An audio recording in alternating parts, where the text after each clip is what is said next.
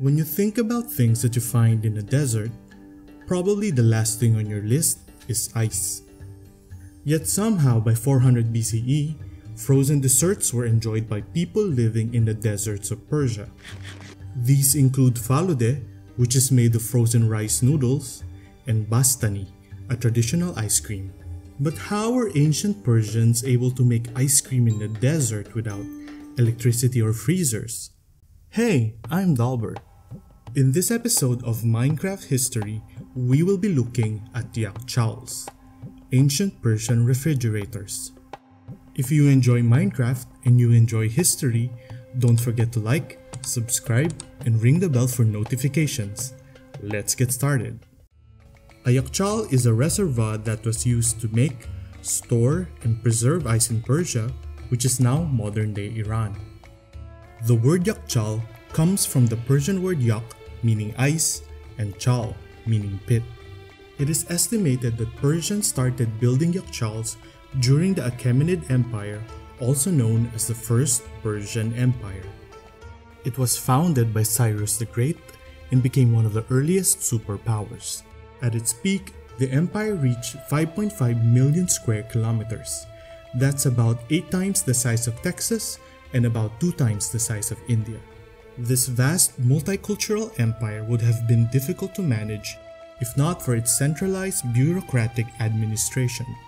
They built roads, created postal systems, and even erected buildings that stood the test of time, including the Yakhchal. For this video, I recreated the Yakhchal in Meybod City from the province of Yazd. So, how exactly does the Yakhchal work? In order to make ice, the pool or pools are connected to a qanat, which is a canal system that provides fresh water. They are commonly around 100 meters by 10 meters and about 40 to 50 centimeters deep.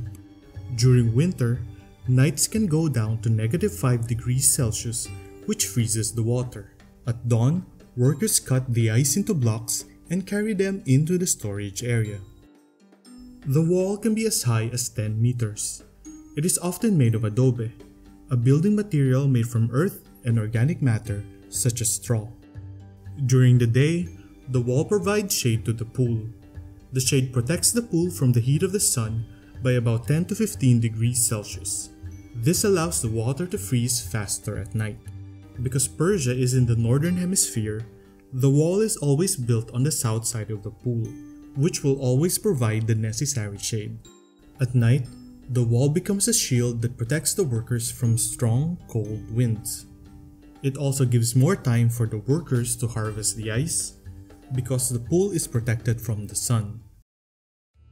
The yakhchal is where the ice is stored. When they were in use, the outside was covered with thatch to provide further insulation and protection from the rain. The structure is very effective in keeping the ice from melting.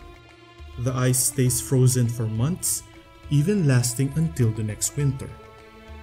The ice is kept in a pit that is 6 meters below ground. Temperatures below ground are often cooler and more stable, which helps keep the ice from melting. A small opening is dug at the bottom to let melted ice flow. Thatch and wood are placed in between the layers of ice so they would not stick together. This also provides more insulation.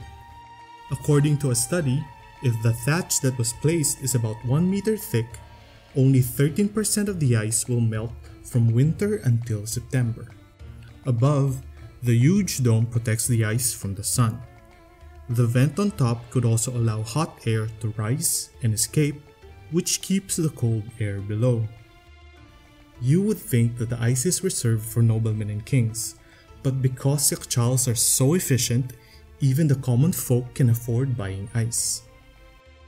Although 129 yakhchals still exist today, they are mostly relics of the past and are no longer being used because of modern refrigeration.